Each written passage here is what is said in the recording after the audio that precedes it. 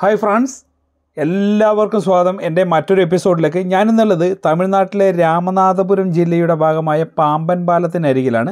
ഇന്ന് നമ്മുടെ കാഴ്ചകൾ പാമ്പൻ പാലമാണ്. പോകാം നമുക്ക് വീഡിയോയിലേക്ക്.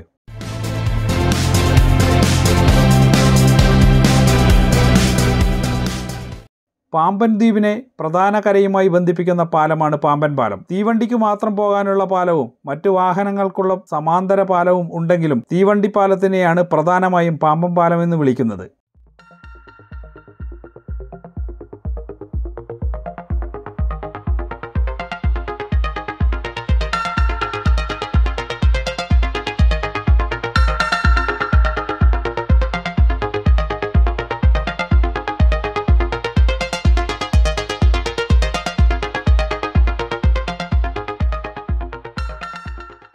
പനന്നൊങ്ക് കണ്ടു കഴിഞ്ഞപ്പം പനന്നൊങ്ക് കഴിക്കാൻ വന്ന ഒരു ടേസ്റ്റുള്ള സാധനമാകുന്നത് എന്ന് പറഞ്ഞാൽ അതിപ്പം അത് കൊത്തിപ്പൊളിച്ചുകൊണ്ടിരിക്കുന്നതാണ് ഇപ്പോൾ കാണുന്നത്. അതൊന്ന് കഴിച്ചു നോക്കട്ടെ എങ്ങനെയുണ്ട്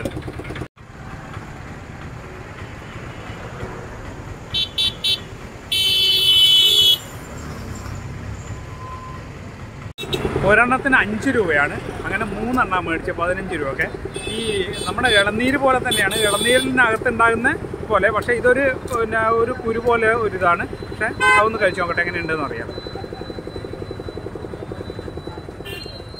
നമ്മുടെ ഇളനീരിന്റെ അതേ ടേസ്റ്റാണ് ഒരെണ്ണത്തിന് അഞ്ച് രൂപയേ ഉള്ളൂ. ഞാൻ മൂന്നെണ്ണത്തിന് പറഞ്ഞിട്ടുണ്ട്. ഒരു ഒരു പനന്നൊങ്ങിനകത്ത് മൂന്നെണ്ണം ഉണ്ടാവുക. ഹൈ ഫ്രണ്ട്സ് ഇനി നമ്മൾ കാണാൻ പോകുന്നത് എന്താണെന്നറിയോ? പാമ്പം പാലമാണ്. പാമ്പം എന്നിപ്പോൾ ഉള്ള പേര് പോലെ തന്നെ അതൊരു പാമ്പം പാലം തന്നെയാണ്. ഇപ്പോൾ ട്രെയിൻ അതിലേ ഓടുന്നില്ല. പാമ്പം പാലം എന്നുള്ളത് പുതിയ പാലം പണിയുന്നുണ്ട്. ആ പുതിയ പാലം പണിതതിന് ശേഷമേ അതിനകത്തൂടെ ട്രെയിൻ പോവുള്ളൂ. മുമ്പ് പിന്നെ പഴയ പാലത്തിൽ കൂടെ രാമേശ്വരത്തേക്ക് ട്രെയിൻ ഉണ്ടായിരുന്നു. ഇപ്പോൾ രാമേശ്വരത്തേക്ക് ട്രെയിൻ ഇല്ല. ട്രെയിൻ തൊട്ടപ്പുറത്തെ മണ്ഡപം എന്ന് പറയുന്ന സ്റ്റേഷൻ വരെ ട്രെയിൻ ട്രെയിനുള്ളൂ മണ്ഡപം സ്റ്റേഷനിൽ ട്രെയിൻ നിർത്തും. അവിടെ നിന്നാണ് ഇങ്ങോട്ടേക്ക് പിന്നെ ബസ്സേ ഉള്ളൂ. രാമേശ്വരത്തേക്ക് ബസ്സേ ഉള്ളൂ.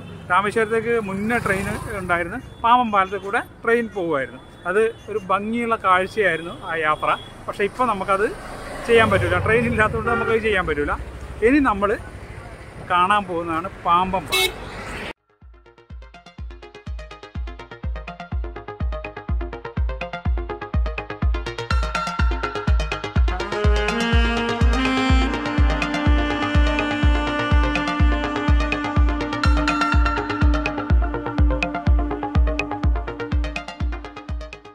കപ്പലുകൾക്ക് കടന്നുപോകാൻ സൗകര്യമൊരുക്കി പകുത്തു മാറ്റാൻ കഴിയുന്ന രീതിയിലാണ് പാലത്തിന്റെ നിർമ്മാണം. ഒരു നൂറ്റാണ്ടോളം പഴക്കമുള്ള പാമ്പൻ പാലം രാജ്യത്തെ എഞ്ചിനീയറിംഗ് വിസ്മയങ്ങളിൽ ഒന്നാണ്.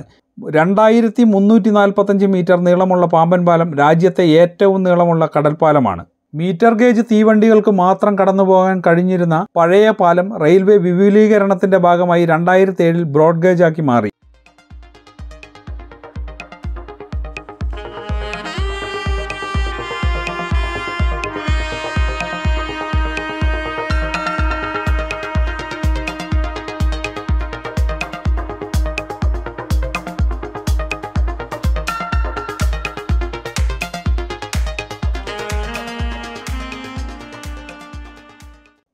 പാമ്പൻ പാലത്തിന്റെ ചരിത്രത്തിന് ഇന്ത്യയിലെ ബ്രിട്ടീഷ് ഭരണത്തിന്റെ സുവർണകാലത്തോളം തന്നെ പഴക്കമുണ്ട്.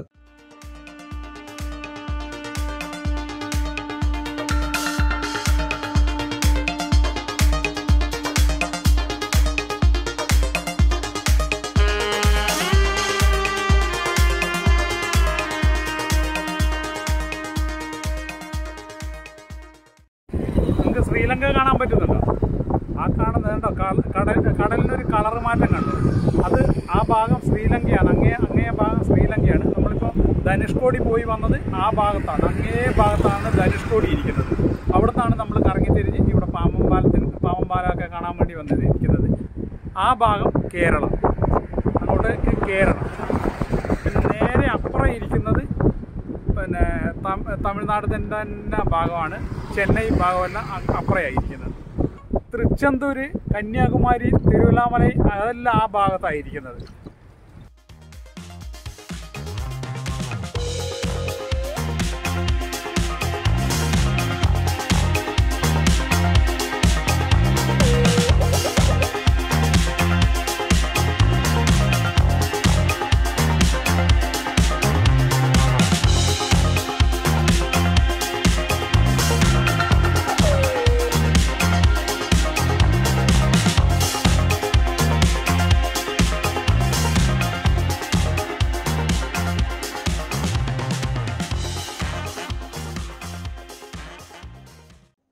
പാക്ക് കടലിടുക്കിന് കുറുകെ പാലം നിർമ്മിക്കാൻ ബ്രിട്ടീഷുകാർക്ക് പ്രചോദനമായത് ധനുഷ്കോടിയും ശ്രീലങ്കയുമായുള്ള സാമീപ്യമാണ്.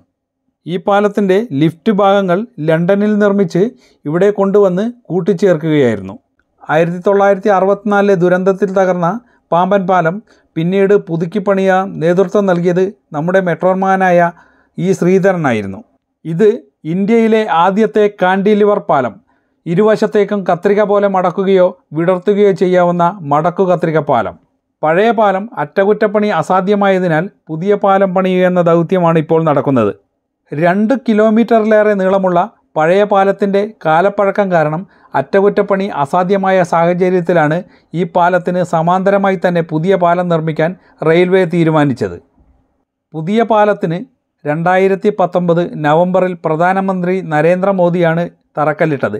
അഞ്ഞൂറ്റി നാൽപ്പത് കോടിയാണ് നിർമ്മാണ ചെലവ്. രണ്ടായിരത്തി ഇരുപത്തിരണ്ട് മാർച്ചിൽ പണി പൂർത്തിയാക്കാനാണ് തീരുമാനമെങ്കിലും പിന്നീട് അത് നീണ്ടുപോയി. പുതിയ പാലത്തിനായി കടലിടുക്കിൽ ഇതിനോടകം മുന്നൂറ്റി മുപ്പത്തി മൂന്ന് തൂണുകൾ സ്ഥാപിച്ചു കഴിഞ്ഞു. ഇവയ്ക്ക് മുകളിൽ നൂറ് സ്പാനുകൾ സ്ഥാപിച്ചാണ് പാളം ഘടിപ്പിക്കുക. പഴയ പാലത്തേക്കാൾ മൂന്ന് മീറ്റർ ഉയരവും കൂടുതലുണ്ട്.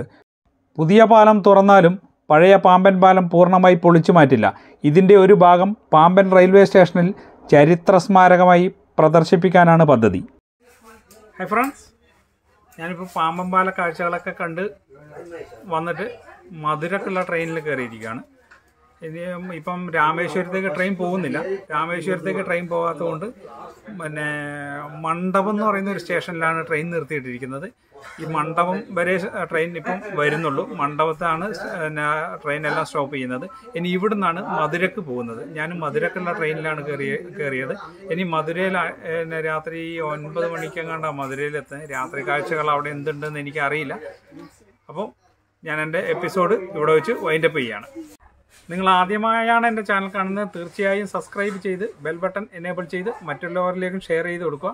അപ്പോൾ മറ്റൊരു വീഡിയോയുമായി വരുന്നത് വരെ. Bye bye.